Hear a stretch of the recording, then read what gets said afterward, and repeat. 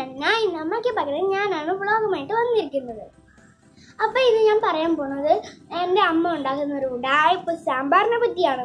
നിങ്ങൾ അനിവാരുണ്ടാക്കുന്ന സാമ്പാറിലൊക്കെ വെണ്ടയ്ക്ക വെള്ളരിക്ക ഏത്തയ്ക്ക കായ അങ്ങനത്തെ സാധനങ്ങളൊക്കെ ഉണ്ടാക്കും പക്ഷെ എന്റെ അമ്മ ഭയങ്കര മടിച്ചി ആയതുകൊണ്ട് അമ്മ ആയി ഇടുന്നത് വെണ്ടയ്ക്ക തക്കാളി സവോള ഈ ഈ സാധനങ്ങളോടൊപ്പം പരിപ്പും.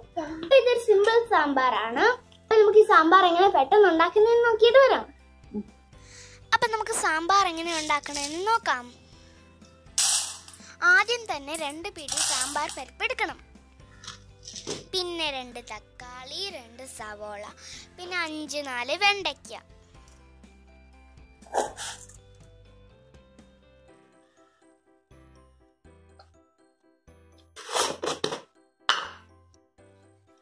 അമ്മ ഇതിൽ വാരിയൊക്കെയാണ് ഉപ്പൊക്കെ ഇടുന്നത്. പക്ഷെ നിങ്ങൾ ആന്റിമാർ ആവശ്യത്തിന് ഇട്ടാൽ മതി.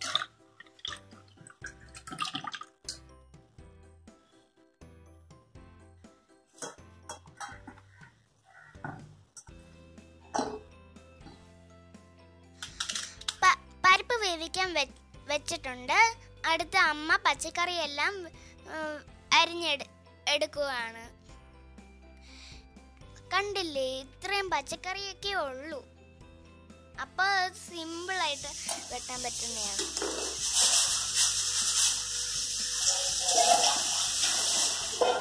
പച്ചക്കറി അരിഞ്ഞ് തീർന്നപ്പോൾ കുക്കറിന്റെ വിസിൽ കേട്ടു. ഹായ് ഈ സാമ്പാർ പരിപ്പ് പായസം പോലെ ആയിട്ടുണ്ട്.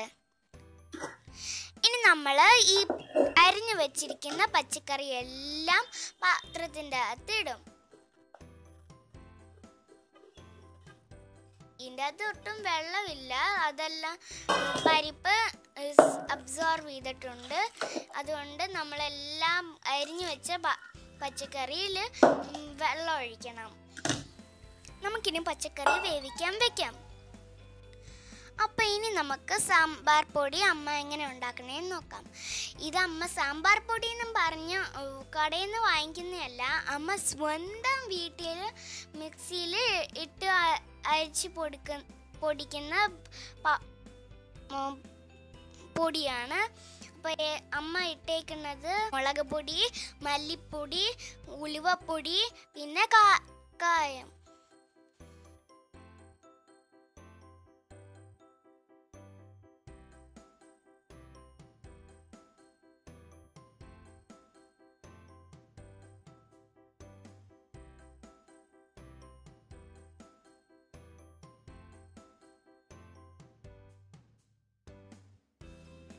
സാമ്പാറിന്റെ പച്ചക്കറി എല്ലാം വന്നിട്ടുണ്ട്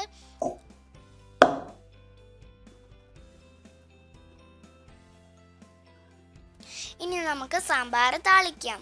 അപ്പോൾ ചീ അതിനു വേണ്ടി നമ്മൾ ചീനച്ചട്ടി ചൂടാക്കും. ചീനച്ചട്ടി ചൂടായി വന്നിട്ട് നമ്മൾ എണ്ണ ഒഴിക്കും. എന്നിട്ട് അമ്മ കടകിടും. ഓ നമ്മുടെ കരിയേപ്പ അത് പൊട്ടിക്കണം. ഓ നമ്മുടെ കരിയേപ്പില വേണല്ലോ. അമ്മ അതാ ഓടിയിട്ടുണ്ട്. ആ കരിയേപ്പിലയും കിട്ടി.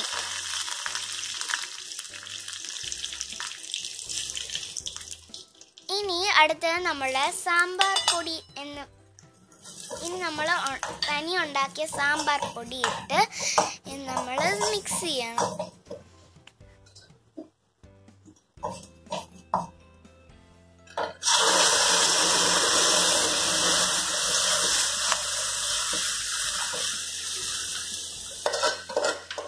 ഇനി നമ്മുടെ പച്ചക്കറിയെല്ലാം നേരത്തെ വെന്തത് കാരണം നമ്മൾ അധികം തിളപ്പിക്കണ്ട. ഒരിച്ചിരി ആവശ്യത്തിന് വെള്ളം ഒഴിച്ചിട്ട് പിന്നെ അത് തിള തിള ഇച്ചിരി തിളച്ച് കിട്ടിയാൽ മതി. സാമ്പാർ മിനിമം സാധനങ്ങൾ കൊണ്ടുണ്ടാക്കിയതാണെങ്കിലും നല്ല കിടിലും ടേസ്റ്റും ലുക്കുമാണ് ഇനി നമുക്കിത് പാത്രത്തിലേക്ക് മാറ്റാം. എനിക്ക് ഇഡ്ലീന്റെ കൂടെ സാമ്പാർ തന്നെ വേണം. പിന്നെ അത് മസ്റ്റാണ്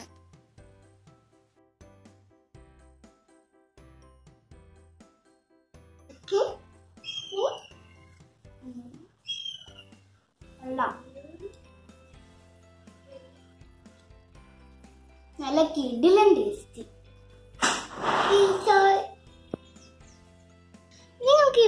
ഇഷ്ടപ്പെട്ടോ? ഈ സാമ്പാറിന്റെ കഥയൊക്കെയുള്ളത് നിങ്ങൾക്ക് ഇപ്പൊ ഇത് ഇഷ്ടപ്പെട്ടോ? ഈ ഈ വീഡിയോ ലൈക്ക് ചെയ്യണം പിന്നെ ഷെയറും ചെയ്യണം. ഈ ചാനലും സബ്സ്ക്രൈബ് ചെയ്യണേ മറക്കല്ലേ? വീണ്ടും ഒരു വീഡിയോ ആയിട്ട് വരുന്നത് വരെ